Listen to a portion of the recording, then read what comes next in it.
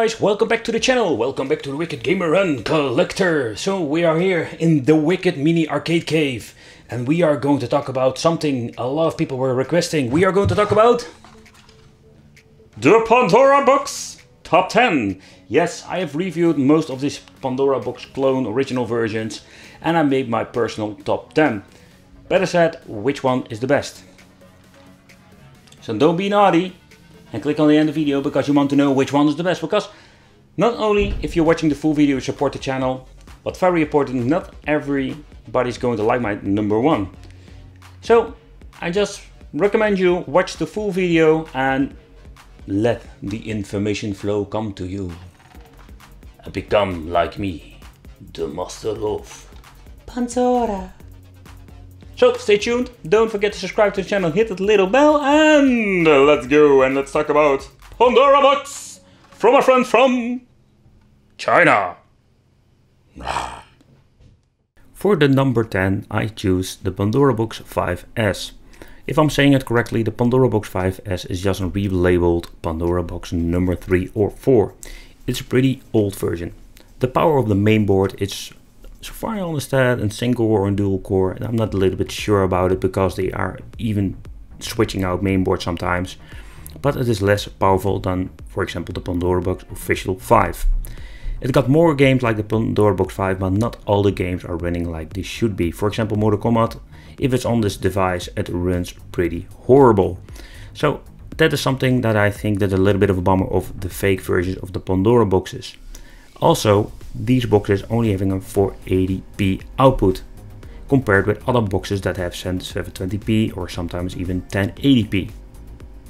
So the Pandora box number 5 come in different variations if it comes to the games, but I really like to point out that the game list is not very important. There is more games than the official one, but the, most of the games are double, hack games or other regions, you name it, it's just big messy list.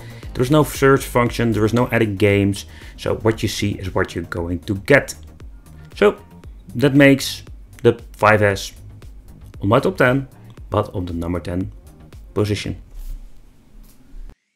And for the number 9 position, I choose the Pandora Box 6S. Yes, it's again a clone version, but they did improve some minor things. For example, they added more games. Yes, they are still using the similar mainboards like the previous model, so that's a little bit of a bummer, but they sorted out the game list.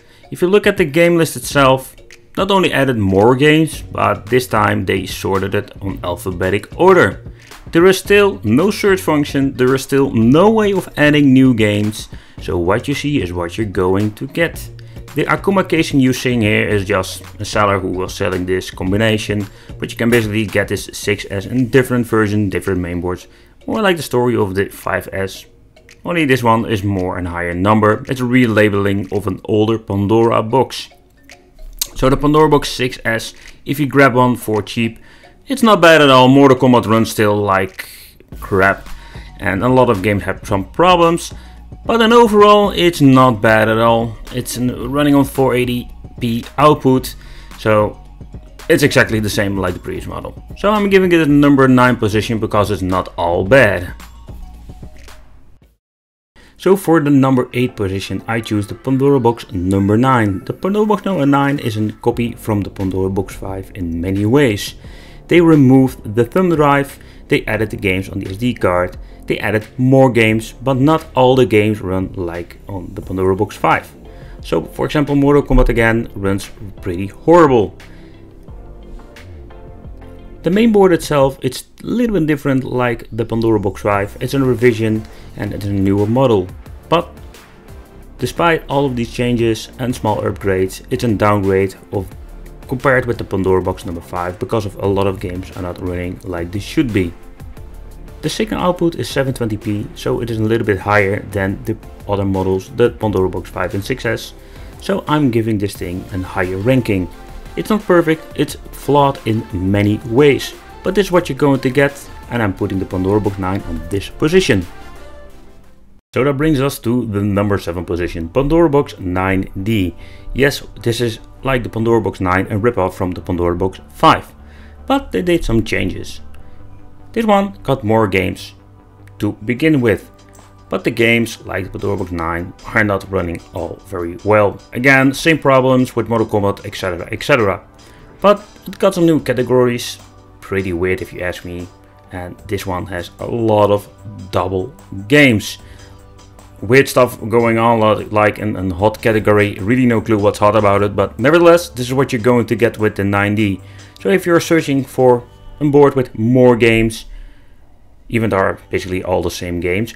And but nevertheless, more games, and so this thing gets a little bit higher ranking. And what I think is really unique of this one, that it has even SNES and Sega Mega Drive games. So they added more than only arcade games. And these games are running pretty smooth. I think it's a great collection if it comes to the games in general. It's a shame they use it all of these double games, that makes this a little bit messy list. No category system, there is no search option, there is no alphabetic order, it's one big gigantic mess, like a lot of these clone systems. The mainboard is similar to the Pandora Box 9 and it has a new revision quad-core CPU mainboard. So the 720p output is exactly the same like a lot of these versions. It's a little bit better than let's say the keys and the first generations, but I'm giving this position to the Pandora Box 9D. So for the number 6 position, the Pandora Box 9S Plus. Yes, another copy, another bootleg version, but this one is different. This one is a copy of the Pandora Box 6, the official version. And yes, they added, or better said, they left some features inside this version too. For example, we can finally search our games on categorized or alphabetic order. It's not perfect, but is a way better solution for finding the game you want to play. They added more games if you compare it with the official version, but sadly they have removed the add games function. So yeah, that is what I call a big downgrade compared with the official one. Still, it's not bad at all. Um, it still has the problems, for example Mortal Kombat and some games are not running like it should be. It's running on the newer Vision quad-core CPU mainboards. It has a 720p output, so it's still no full HD. It's similar if you look at the output to let's say the Pandora Box 6 and other versions and it is way better than the key versions. It looks beautiful on a full HD screen, so I think that is not a very big problem. So I'm giving this higher ranking because if you look at the Pandora Box 9 line, this is one of the best main boards you can get. It got a lot of games, a lot of features, and the games, most of them are running pretty good. Alright, so for the number 5 position, I choose a Pandora Box number 5. And the reason why is pretty simple. The Pandora Box number 5, and this is the original and the official one, has less games. Yes, but most of the games are running pretty good. There is no search function. There is no way of adding new games, but still, well, it was around 960 games, and games like Mortal Kombat 1 are running pretty good. So, whether most of the boxes have problem with, the Pandora Box 5, the original one, doesn't have this. So that is the reason why I choose this one for a higher ranking. It runs on a quad-core CPU and it has a 720p signal output like a lot of these Pandora Box 9 and other versions. But the overall experience with the Pandora Box 5 is pretty good. And again, the games run fine. So if you're searching for a cheap, very cheap old Pandora Box 5, nothing beats the Pandora Box 5 original version. So that's the reason I'm giving this number 5 position to the Pandora Box number 5. So the number 4 position, I'm giving this to the Pandora key number 7. The Pandora key is not a fake version, no no, you need to see this like the nemesis of the Pandora box. This is the other brand that making Pandora box key main boards. So the Pandora Key 7, this one has a lot of big improvements. For example, it has an octo-core CPU compared with the quad-core of the Pandora Box series. And the support is way bigger than the previous models. For example, this one supports N64 and it even has Sega Dreamcast or Sega Naomi from the arcade. But only I need to point out that this particular mainboard is pretty powerful it still has a lot of problems if, if you look at the emulation of the N64 and Dreamcast. N64 doesn't have full support and a lot of problems with like glitches or games are not booting up. The Dreamcast on the other hand, it runs a lot of games pretty good. Depends also a little bit what version you are using. There are different versions out there with better firmwares and I have personally noticed that the newer the firmware, better the support and some games are booting up or not crashing like in older models. What is also a very cool feature about the Key 7 mainboards, it runs PSP games.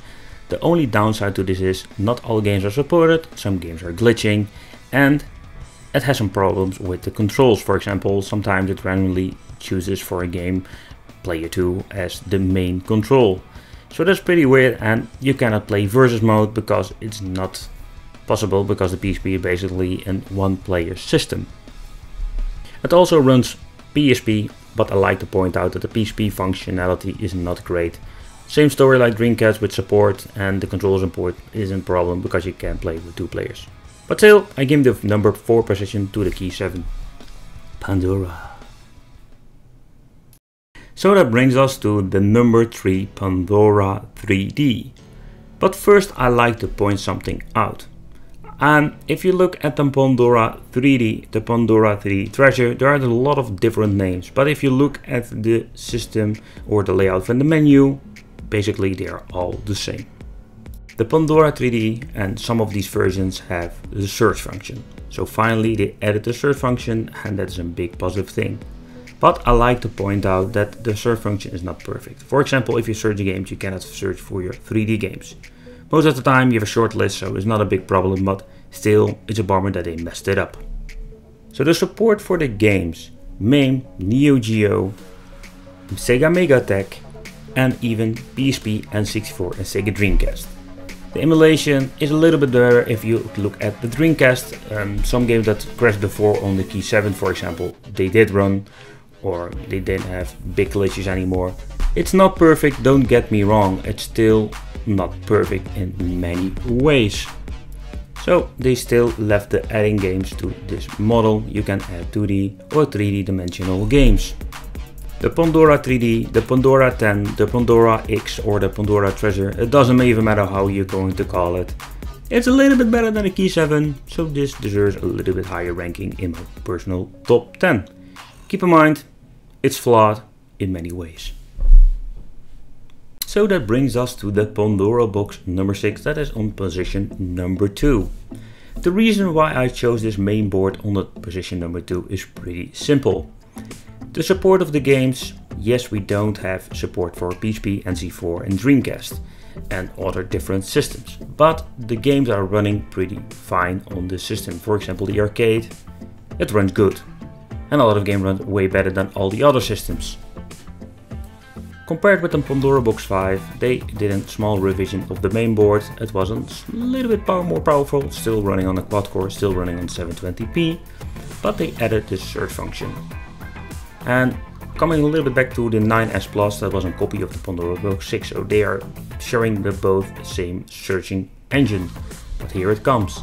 With the Pandora Box 6, you still have the option to add new games, even 2D and 3D games. And yes, it supports 3D games because it supports PlayStation 1. It's not perfect, not at all, because we having the problem we can't save with PlayStation 1. So keep that in mind, so if you're adding games that need a save function, for example Tekken, you can never unlock the new characters. So yes 3D, but no, it's not perfect at all. The emulation overall is pretty good. So the Pandora Box 6 is a pretty decent mainboard, it got a great support and it is it's what I wanted to say a little bit, but it is way better than the Pandora Box 5. So I'm giving it the position number 2. So for the number 1 I choose the Pandora Games 3D. This is something that I've never seen before if it comes to the Pandora boxes. It's not a ripoff, it's something totally new. Even the main board is different if you compare it with all the other versions. You can basically say it's a revision. It got the same measurements, but the CPU is way more powerful compared with all the other models. From the outside it looks like all typical mainboards or Pandora boxes. This one has a lot of new features and options. This comes when powering on the system.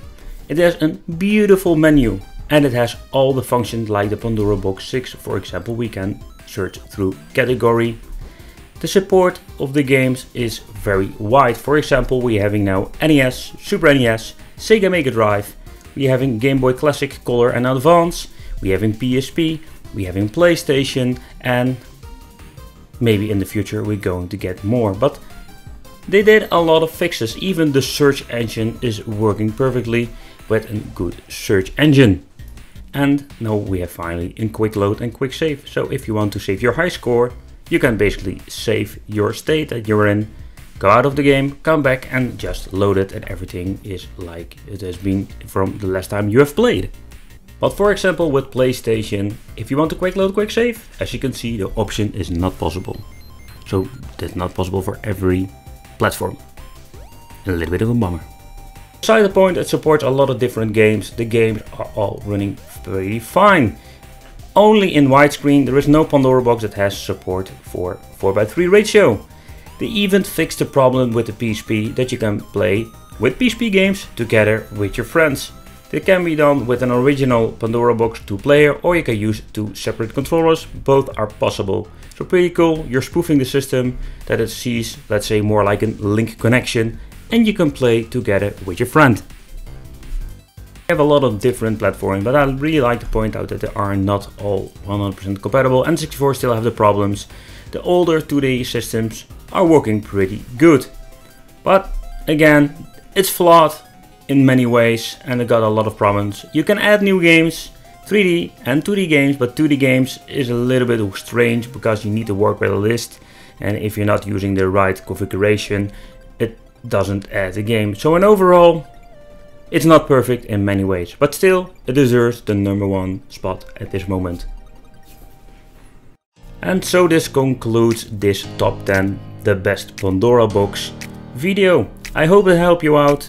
I want to thank you for watching. Don't forget to subscribe to the channel, hit the bell. And if you like gaming, don't forget to check out the Wicked Gaming channel. And see you in the next video. Bye bye.